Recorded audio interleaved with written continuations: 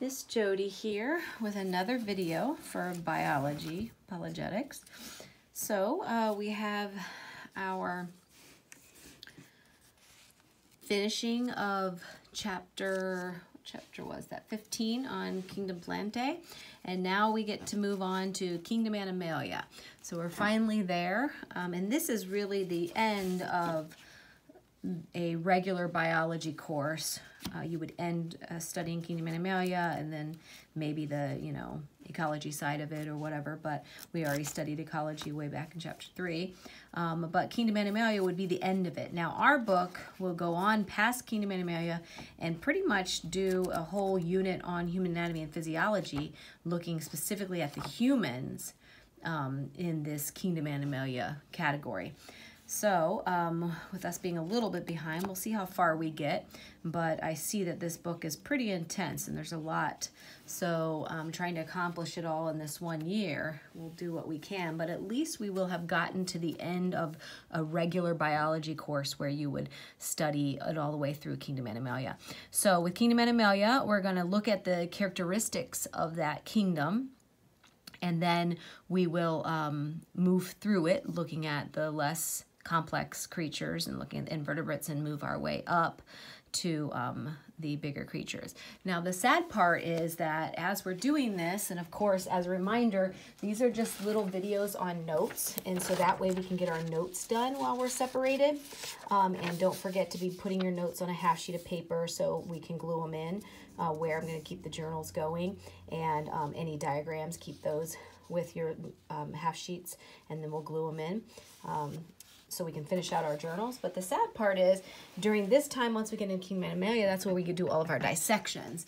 And so you get to really see the anatomy of these particular living organisms and, and how amazing all the parts and the irreducible complexity of it all.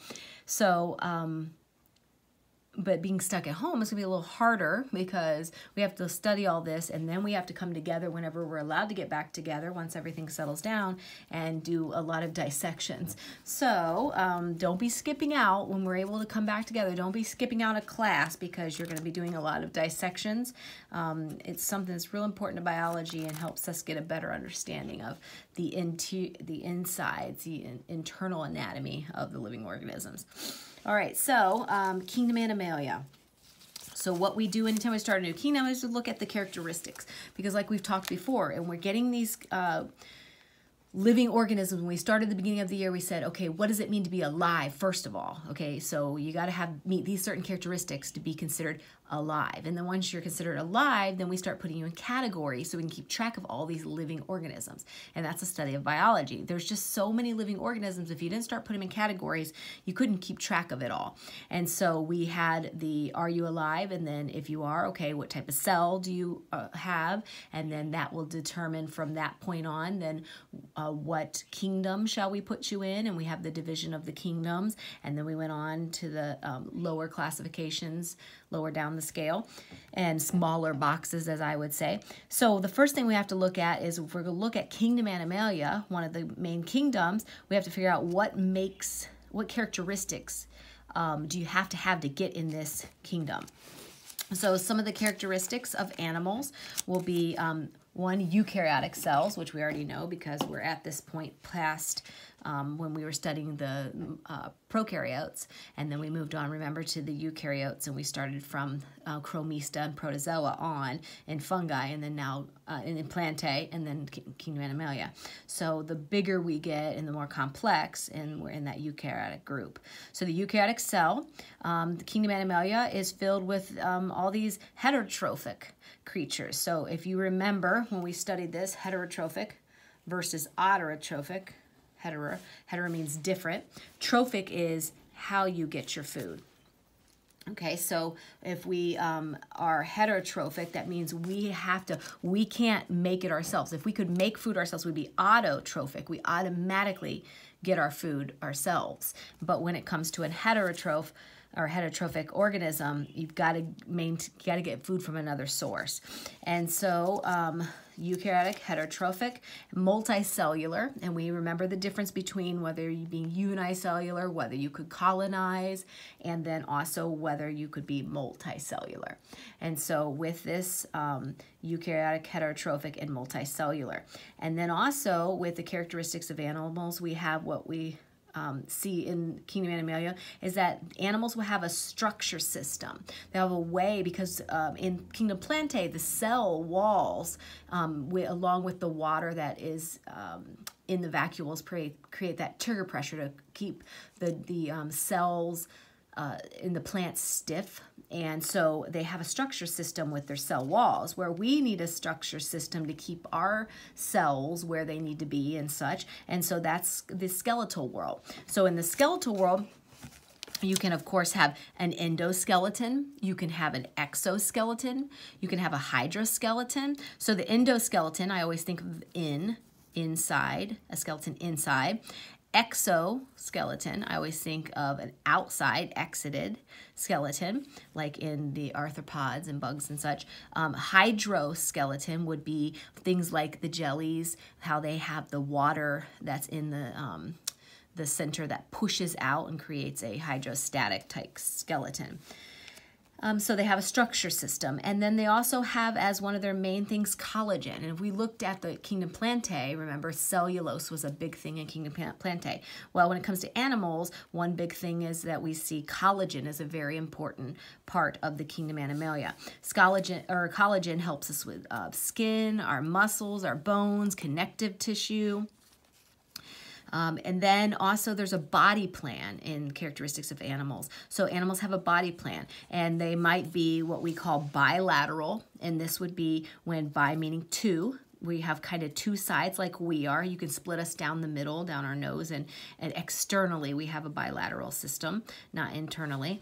Um, uh, radial, this would be like a body plan where we would have something like a sea star where it radiates out in all directions or whatever. There's more of a radial sense. Um, and then there's also uh, asymmetrical, there we go. Uh, and I didn't write one for that, but uh, let's see, like a crab.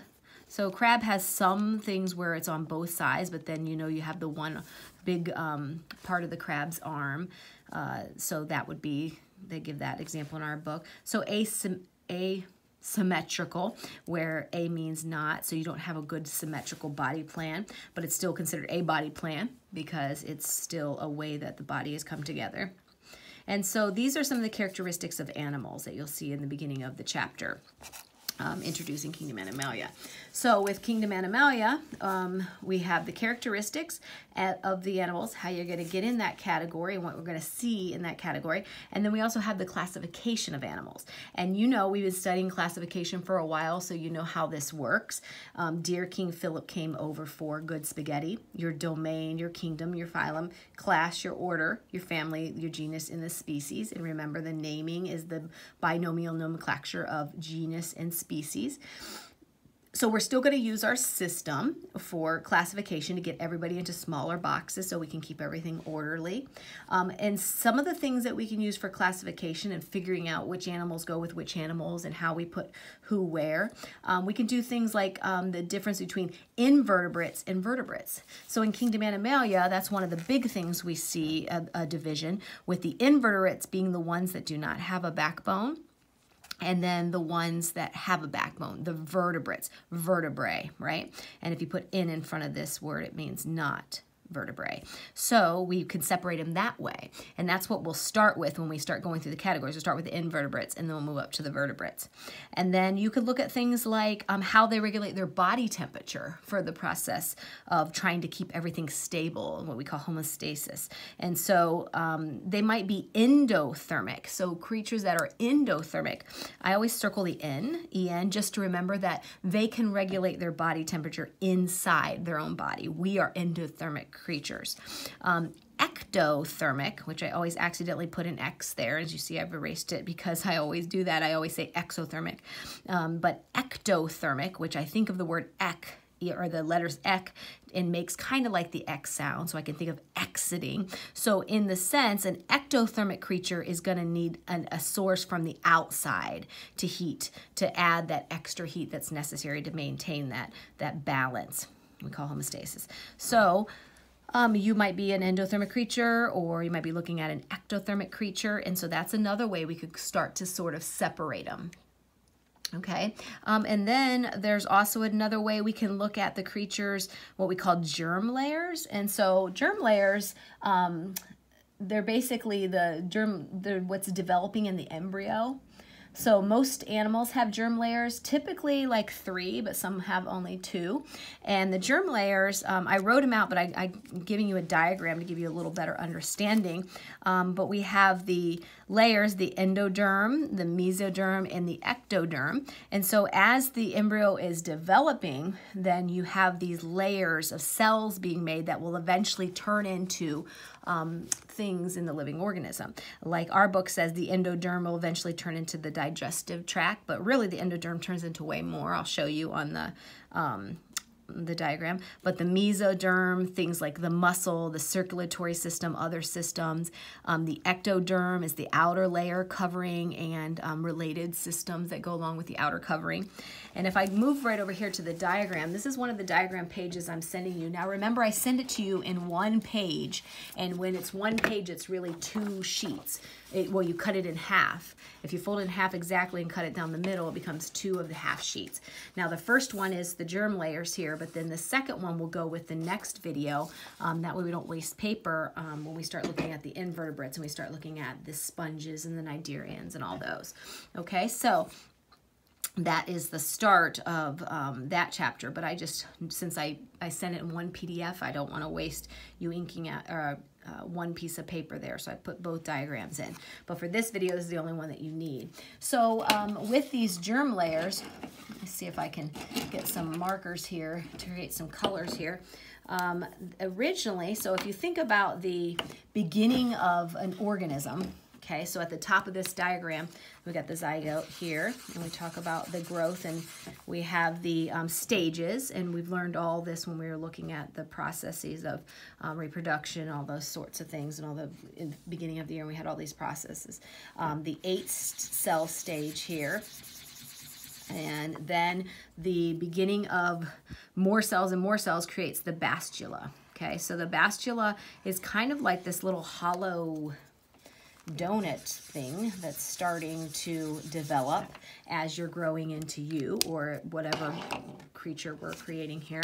And so as it begins to, um, the cells begin to duplicate and all the cells begin to, uh, I should say, differentiate, Oh, there goes my pronunciation, right? Um, we begin to have these different layers begin to form. And here, this little bump up which we call, so this would be the blastula, and then this bump up begins to create, this is the blast, uh, blastopore, so there's a, these pores that are gonna help with the, um, the, uh, uh, what's it called, the, the making of the layers, I guess. So what happens is the cells in the walls of this blastula begin to move into the inside of the ball. And then when they begin to move in the inside of the ball through a hole called the bastulopore, um, as a result, this inward movement, layers of cells, begin to develop and create into these germ layers. So it kind of moves towards the middle and then it creates these layers. So in the end, we have, uh, if you are an animal that has produces three germ layers where everything is going to come out of, you have the endoderm. And again, this is just you, this, this little guy here. You haven't become anything else yet. And then you got, or maybe in my diagram I should say, my sea urchin because we could start this guy and then make his layers and then turn him into that. Um, the second layer here that's forming and that's the mesoderm. And then the third layer, how about I do this, this ectoderm here. So like from the inside out, this it's funny because the endoderm, when you look at the um, the endoderm, you're thinking, oh, there's a there's a hole in the middle, and that eventually becomes, as you've seen from the the layers, that ends up becoming your digestive tract, the hole through you that um, everything else is developing around, so that we can get food in and food out. So that will include the entrance, eventually, of the hole, um, which will be your mouth and all that, and then the exit hatch, as we call it, um, the ending part, the anus, that everything will go out. So, but when you're just a little guy right here, you're going to be starting to develop these um, germ layers. Now on this diagram, it's kind of blurry, but it at least gets the point. It's going to show us in the endoderm. So in the endoderm, that um, first layer, I think I created yellow, the endoderm, what's all going to be coming out of that. So you can see lung cells. Uh, what else does that say? Can't, I can't read it underneath there, but the thyroid cells, the digestive cells. So in our book, it just gave us the digestive cells and didn't give us a lot that would come out of the um, endoderm. And then we have the mesoderm, which is this one I made yellow. And again, blurry, but cardiac muscle cells, skeletal muscles, tube cells, um, tubule cells of the kidney, the red blood cells, smooth muscle cells, all that's going to come out of that developing layer. And then the last layer would be the um, ectoderm, which I made pink here, and that would be skin cells of the epidermis, neurons on the brain, pigment cells, all of those things are linked to that, those uh, three, that particular layer. So it's kind of cool because when you think then um, as everything's developing and these layers are being made, um, then the full creature eventually in these developmental stages from an 80, no, 60 cell um, little guy here to a gastrula. And that is this process of getting the, the, um, the, the way the blastula folds determines like the mouth and then eventually the end, the exit hatch. That's the process that's called gastrulation, which makes sense. Gastral, intestinal um, system, like our digestive tract and all that. Um, so that particular middle layer there, um, creating that. And so as we are just a little guy, like 60 cells here, and then we go to the gastrula stage, and then, then you begin the four arm larvae. This is creating an adult sea urchin, obviously not scale. Um, and then the eight arm larvae, and then eventually you got the whole little guy there.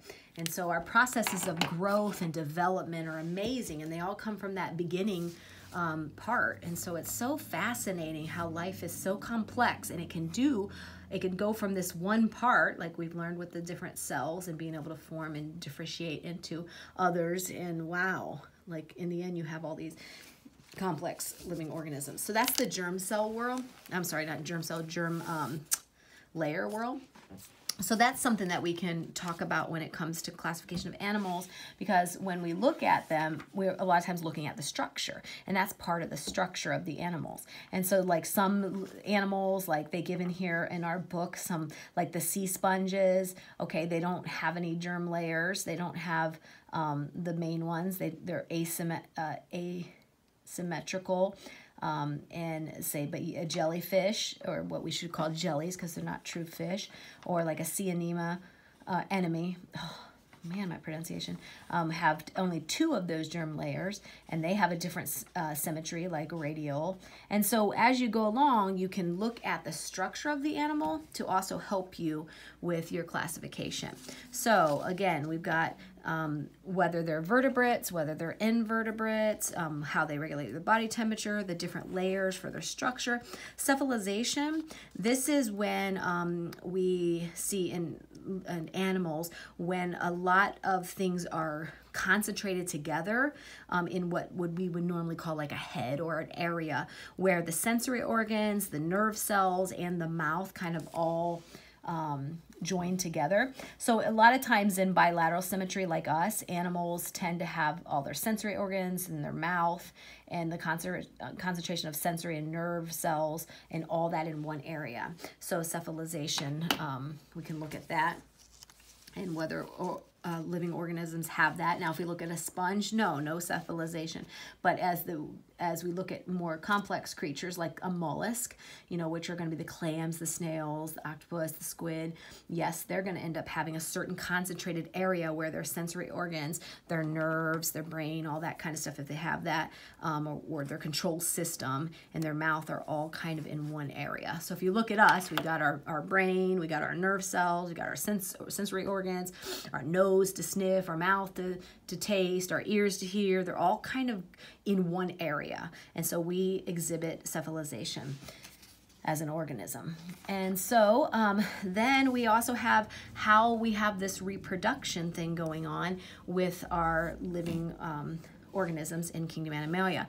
So reproduction, we've been studying that a lot and we know how that works. And each one of the animals will have to look at their specific means of reproduction. But when it comes to reproduction, we can have external reproduction, or I, I should say external fertilization or internal fertilization. And so as it's fertilized, sometimes it can be fertilized in water. We talked about that before. We'll see some of these depending on um, fish, um, some of the amphibians. We'll see some of this different ways of fertilization. And then we'll also look at um, how do they have their babies. Um, if you are oviparous, you are an organism that's going to be an egg layer. And what I normally do, um, I and it could be soft jelly eggs or it could be hard eggs or whatever, but I usually circle this O for oviparous to remember it like an egg.